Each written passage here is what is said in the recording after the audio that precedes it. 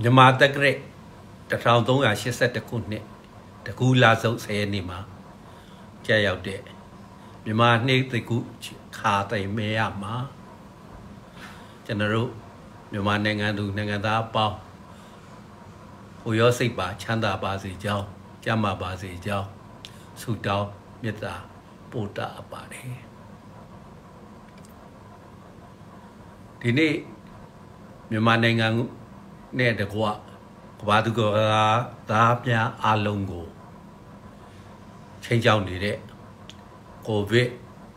-19 ယောဂကာယောဂဆိုးကြီးကိုကြော်လွှားလွန်မြောက်နိုင်ဖို့အတွက်သက်ဆိုင်ရာဝင်ကြီးဌာနအသီးသီးနဲ့ကျမရေးဝင်ကြီးဌာနတို့က တိုက်တွန်းနှိုးဆော်လိုက်နာမယ့်အချက်တွေကိုကျွန်တော်တို့သိရှိပြီးဖြစ်ပါလိမ့်မယ်အဲ့ဒါကြောင့်အဲ့ဒီချက်လက်တွေကိုကျွန်တော်အနေနဲ့အထူးမပြောလိုပါဘူးသို့တော်လဲ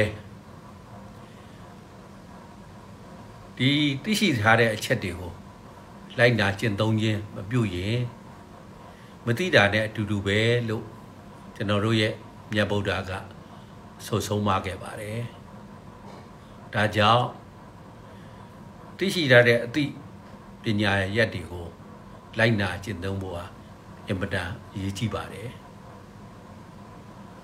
ဒုတိယအချက်အနေနဲ့ကျွန်တော်ဖြည့်ဆွက်ပြီးတော့တင်ပြလိုတာကမိမိရရှိထားတဲ့ အသည့်ဉာဏ်ပညာတွေကိုကျင့်သုံးတဲ့နေရာမှာတတိ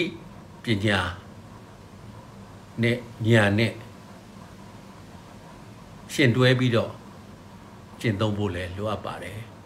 မိတို့ပင်အသိပညာတွေရရှိထားစေကမူတတိတစ်ချက်လွတ်တာနဲ့ ဒီကာယောဂါဇိုကြီးရဲ့ဖိစီးမှုနှိပ်စက်မှုကိုမလဲမသိခံရမှာဖြစ်ပါတယ်။ဒါကြောင့်အတိနဲ့တတိအတူရှင်တွဲပြီးတော့သင်ကျင့်သုံးကြဖို့အတွက်